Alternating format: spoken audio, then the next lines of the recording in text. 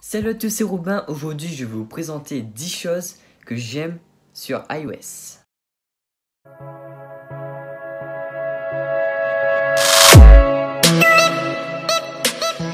Alors, la première chose que j'ai notée, c'est la simplicité de l'OS. Car oui, chez Android, par exemple, si vous êtes sur un Galaxy S8 et que vous passez sur un Huawei Mate 10 Pro, c'est vraiment deux mondes différents.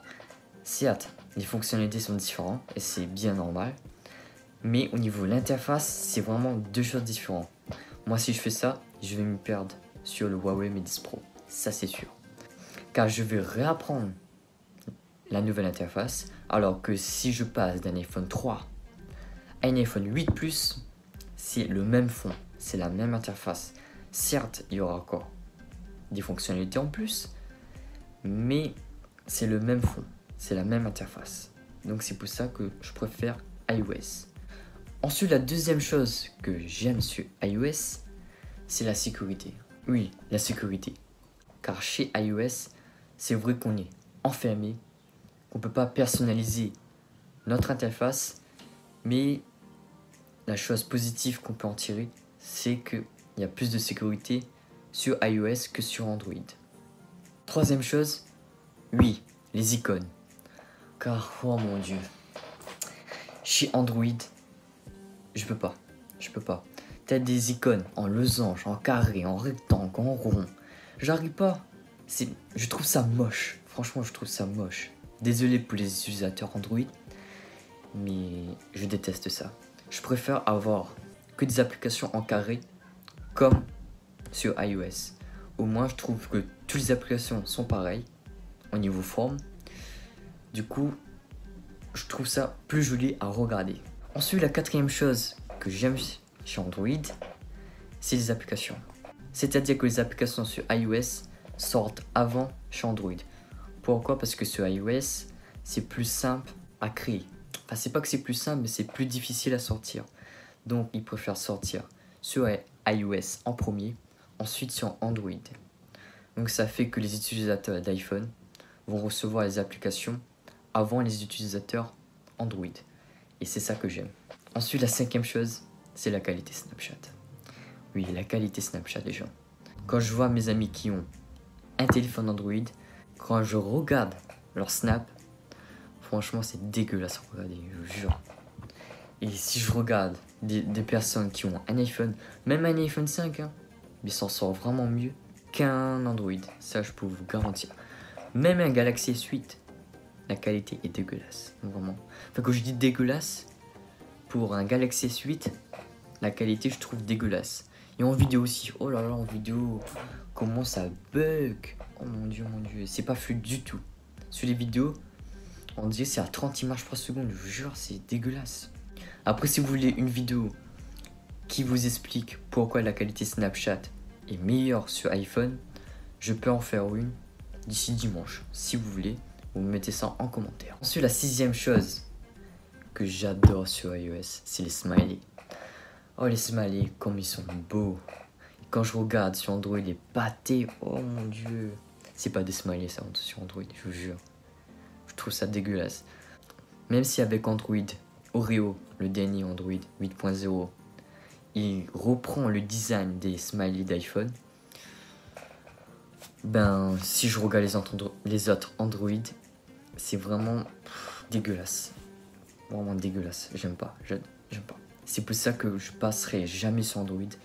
Juste pour les smileys, je vous jure. La septième chose que j'ai mis, c'est les widgets. Car oui, sur iOS, les widgets, tu peux retrouver tout à gauche. Vraiment tout à gauche, si t'en mets. Mais sur Android, t'as vraiment des widgets partout.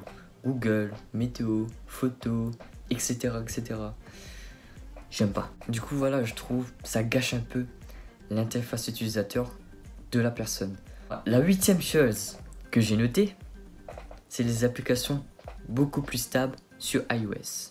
Comme je vous ai dit, les applications sur iOS sortent avant. Mais c'est aussi parce que il y a moins de choses à faire sur les applications. Car sur iPhone, t'as que, si je prends vraiment les récents, entre guillemets, le 5S, le 6, le 6S, le 7, le 8 et le X. Il n'y a que 6 iPhones. Donc c'est beaucoup plus facile pour les créateurs d'applications de adapter le format avec les iPhones. Car sur Android, il y a beaucoup de formats.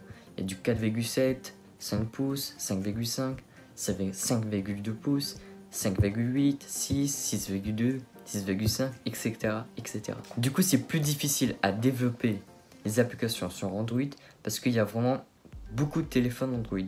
Alors le iPhone, ben, comme je vous ai cité, il n'y a que 6 iPhones. Si je prends les récents, bien sûr. Du coup, au niveau des réseaux sociaux, je trouve que c'est plus joli sur iOS. En tout cas, c'est beaucoup plus simple à utiliser que sur Android. Ensuite, neuvième chose que j'ai toujours adoré sur les iPhones, c'est la puissance. Oui, la puissance pure du téléphone.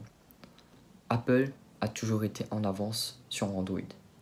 Si je prends le dernier, par exemple le 8 ou le X ou du plus, ils ont tous les trois la même puce.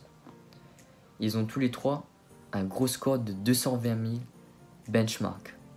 Et ça, aucun Android n'arrive pas à la cheville. Mais à quoi va servir toute cette puissance?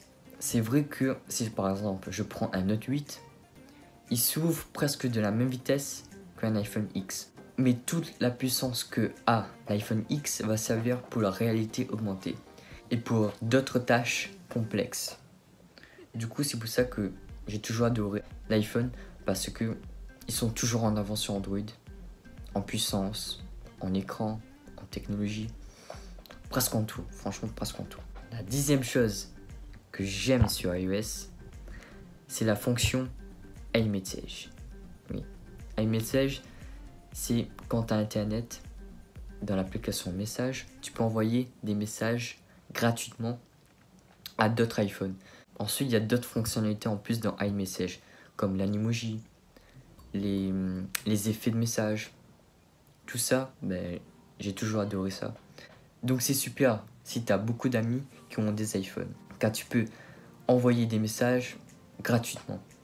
À part si bien sûr tu as un forfait message illimité, mais je sais qu'il y a des personnes, quand ils envoient des messages, c'est payant. Et FaceTime aussi, un truc gratuit. Tu peux appeler par FaceTime à condition que tu as internet bien sûr.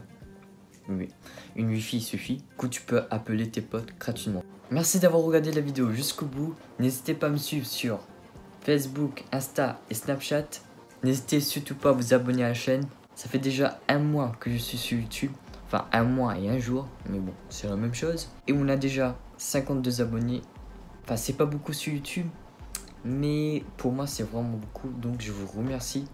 J'espère que dans un mois, on aura déjà les 100 abonnés. J'en suis convaincu.